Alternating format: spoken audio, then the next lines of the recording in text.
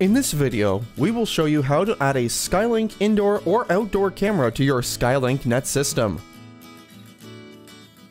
Log into your Skylink Net account. The LED on the hub should be steadily on in green, meaning it is online. Click More.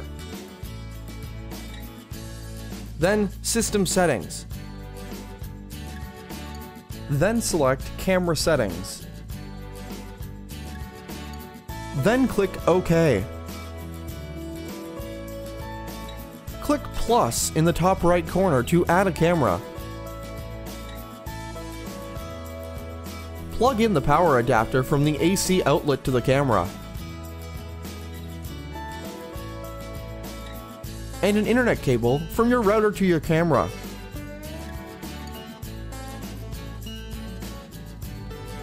Then click continue.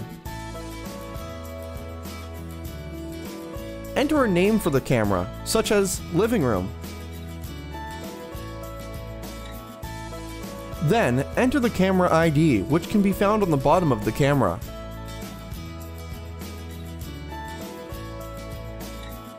You can also scan the QR code instead of typing it in manually. Another way to add this ID code is by searching the camera in the network. Make sure your smartphone is in the same network as your camera, then search camera. Type in the default password, 888-888. Please ensure you change the default password to a personal password once the setup is completed. We have a link in the description below to show you how to change the password. Click Preview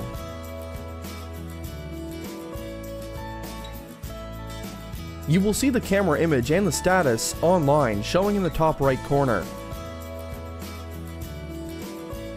If you don't see the camera image or online status, please ensure the LAN cable is plugged into the router with internet access.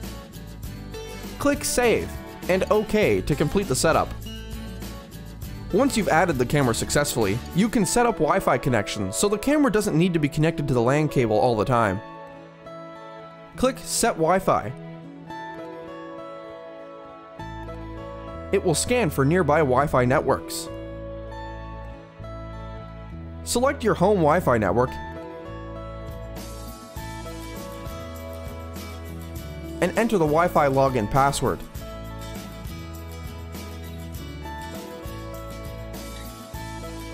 Click OK. The camera will now restart. And you can also disconnect the LAN cable from the camera. It takes about one minute to restart the camera.